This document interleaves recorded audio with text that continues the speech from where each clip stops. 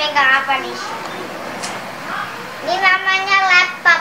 Nih, laptop. Tapi nggak bisa kayak kelihatan. Teman-teman mau tahu gak cara bikinnya ini? Aku kasih tahu. new episode.